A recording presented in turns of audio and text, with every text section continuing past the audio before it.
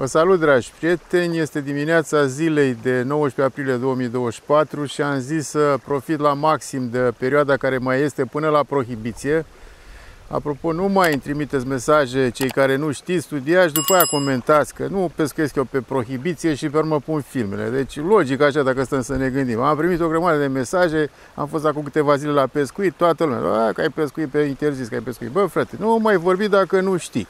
Mă rog, și cu asta, asta am încheiat problema asta. După cum vedeți, sunt într-un loc uh, nou. Nu există niciun reper așa ca să puteți recunoaște. În orice caz, ce pot să vă spun că este undeva între Izvoare și Balta Verde. Locul, deci o zonă destul de cunoscută, zic eu. Și cu toate că am mai pescuit prin locurile astea, exact pe poziția asta, eu încă nu am pescuit, trebuie să recunosc. Am în baltă trei lansete, Deocamdată sunt uh, cu metod feeder, toate trei. Vreau să bag una cu coșuleț cu viermuș, dar întâi să o fac. E destul de rece, vremea e destul de păcătoasă, frig, suflă vântul. Am de gând să stau două zile aici pe poziție și pot să vă zic că nu sunt singur, sunt cu prietenul meu Sorin pe care îl vedeți acum în imagine, s-a băgat și el în partea stângă acolo. Asta e, acum na, ne descurcăm și noi cu putem. Apa pare să fie ok ca și nivel. Cred că a fost mai mare pentru că e destul de multă mocirlă pe aici. Și suntem optimiști. Sper să nu ne găsească congelați mâine dimineață după noaptea care urmează. De câte am văzut azi dimineață când am sosit erau 3 grade pe ceasul de bord la mașină. Este trecut de ora 12 și o să vă zic că până acum am avut nu știu ce trăsături, iar în plus suflă vântul ăsta turbat. Chit că e soare și dacă n-ar sufla vântul ar fi destul de plăcut. Uh, am avut două trăsături atate, am pierdut o montură și am prins și un peștișor, însă ținând cont că e mic o să le liberez pentru că cineva mi-a zis că cel mai bine să-i dai, le dai drumul pe loc decât să îi ții în cost, să-i liberezi la sfârșit. Mă rog, așa că asta o să fac. Asta e balaoana pe care am prins-o, un cărășel cât palma, așa că oricum n-are rost să-l țin. Îi voi da drumul și o să-l contorizez. Ora 3 după amiază, nu prea trage. Pe asta parcă am avut o trăsătură slabă. Cred că e ceva. Oricum, vântul ăsta m-a omorât cu zile, ce să vă zic. Suflă, frate, de, de azi dimineață nu s-a mai oprit. Și Parcă mai bine a mers atunci când n-a suflat vântul decât acum. Ia să vedem ce avem noi aici. E ceva.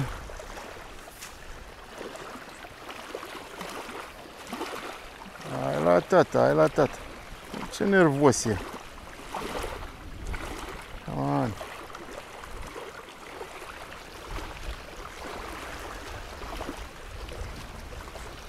Ia uite mă. Bună treabă. Hai că a ieșit din chipcel. E, nu încoace.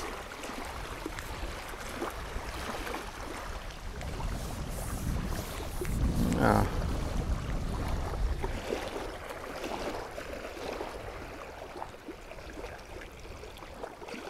Ia uite. E un ciortănel oricum, sta să-l scot de aici. Pentru că E tare enervant, e unecos.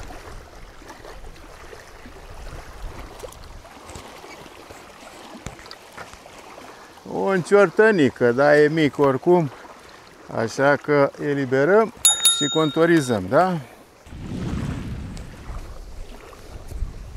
Dacă tot e acalmie în perioada asta și nu mișcă mai nimic, m-am gândit că n-ar strica să defrișez un pic boscheții ăștia pe aici. Că, sincer să fiu, mă cam încurcă.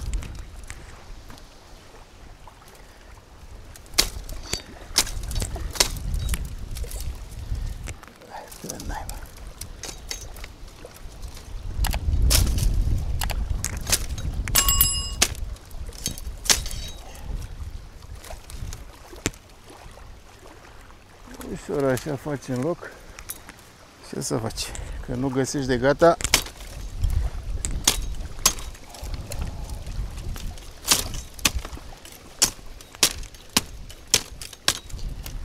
faci și Solo. De altă dată am acces aici pe mal.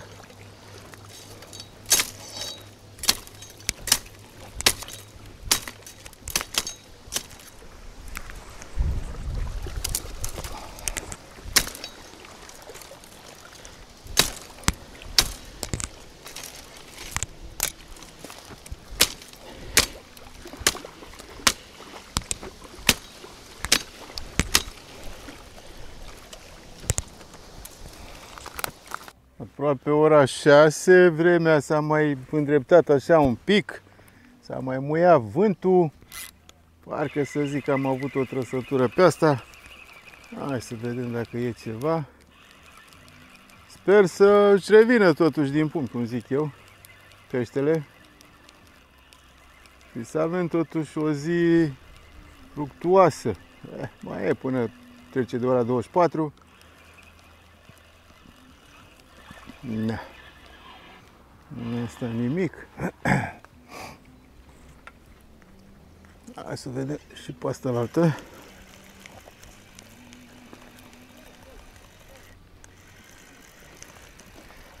Am insistat aproape numai pe metod, n-am băgat viermuși deloc, am băgat sorin, însă să fiu sincer nu, a luat un pește sau doi, dar nu nimic barosan.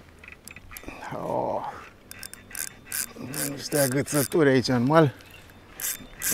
Na. Bună treabă. Exact aici.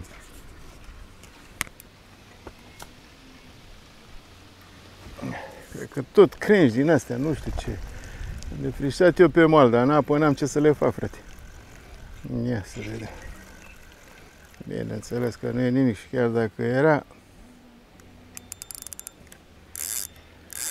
Asta e. Nu știu exact cât este ceasul, însă soarele stă să apună și odată cu lucrul ăsta se simte deja și frigul. O să vă zic că cel puțin astăzi, de când am venit și până în punctul ăsta, nu prea am avut activitate, deci în prima zi destul de slab. Bine, ziua încă nu s-a încheiat, se încheie la ora 24, dar uh, nu, nimic notabil, nimic notabil. În afară că am eliberat trei pești, un ciortănică și doi cărășei sau ce au fost.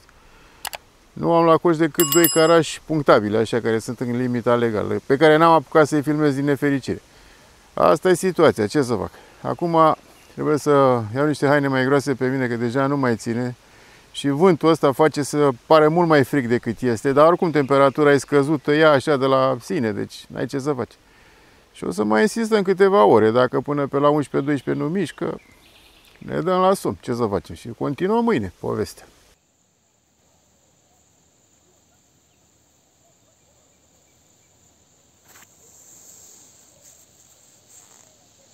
S-a făcut ora 11 noaptea și trebuie să vă spun că nu prea e activitate. Tovarășul meu Sorin a avut o trăsătură destul de violentă, dar nu s-a agățat, nu știu ce a fost acolo, un caraz mare, un ciortan. Eu am mai prins un cosac pe care, bineînțeles, că o să le liberez și o să-l contorizez.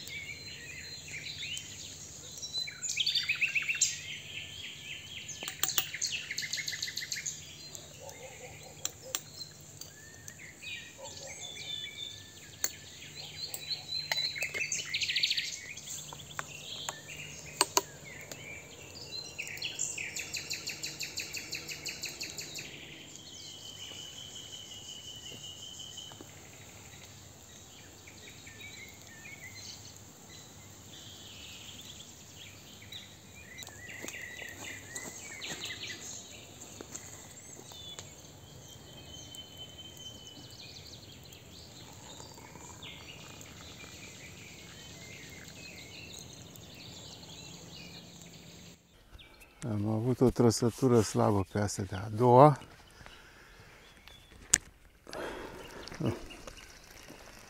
Nu știu ce se întâmplă, dar peștii nu prea, nu prea răspund la apel, ca să zic așa. Azi noapte nimic. Am dus și ne-am culcat, ce să facem? A fost destul de frig, dar da, în cort totuși acceptabil. Nu știu ce să mai zic.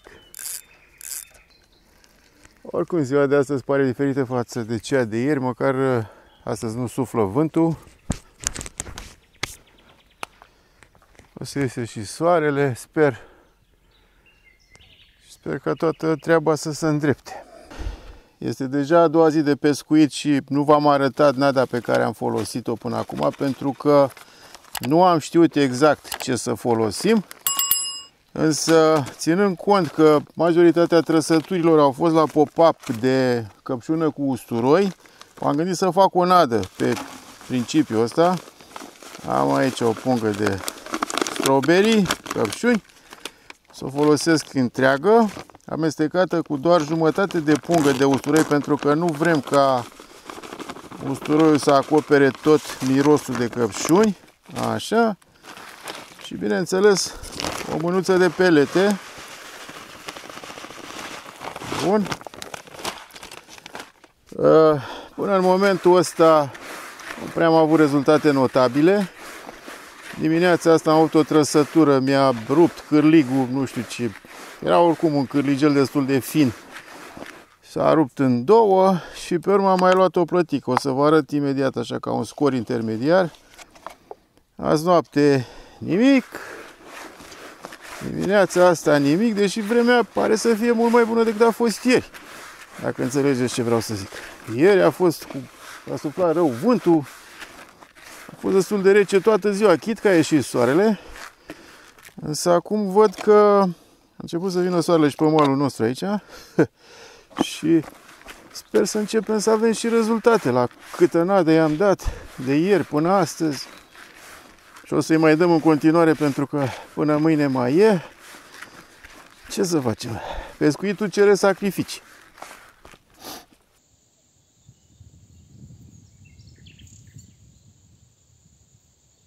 Haideți să vedem peștii pe care am la coș până acum, așa ca scor intermediar. Vreau să vedeți plătica. Dita mai plătica. Ia uite. Deci că e cârpător. De ăștia să tot vină, dar din păcate, până acum e singura și mai e un cărășel acolo. Stai mă cu minte, stai cu minte. Oh, oh.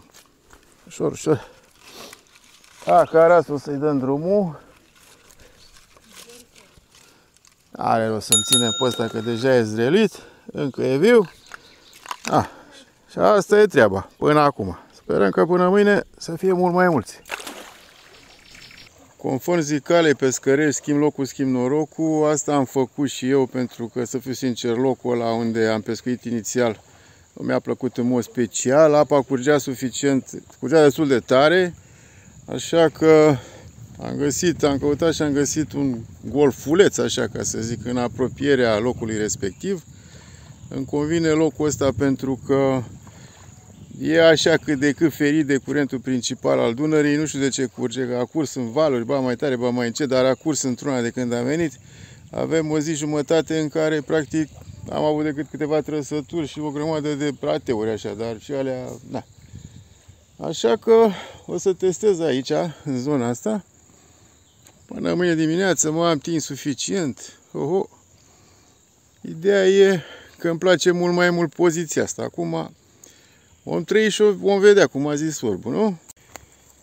Uite că am avut dreptate cu locul. Chiar s-a schimbat norocul de data asta. E, nu știu, aproximativ ora 3, 3 jumate, nu știu exact cât este. Am luat un ciortănică la care bineînțeles că o să-i dau drumul și îl contorizăm și pe ăsta. Go, go, go! E un pic amețit el așa până să dumirește. Hai să-l ajutăm un pic. Așa. Și s-a dus.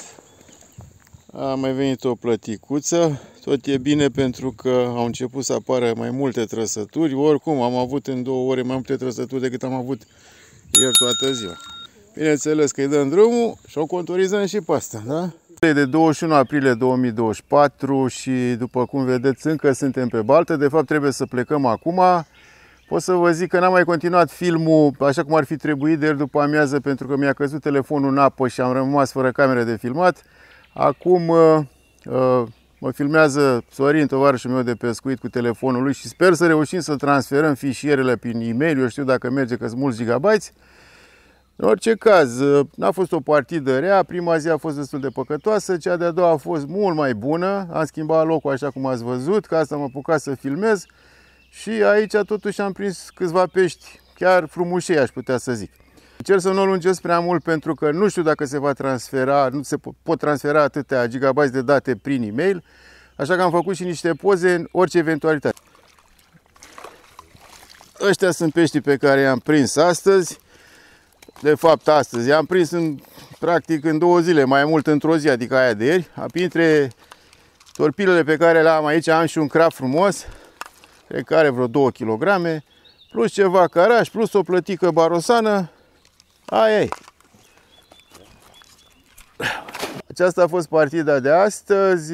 Vă doresc fir întins. Urmăriți în continuare canalul Pescar Mehedințean și nu uitați să vă abonați în cazul că nu sunteți deja abonați.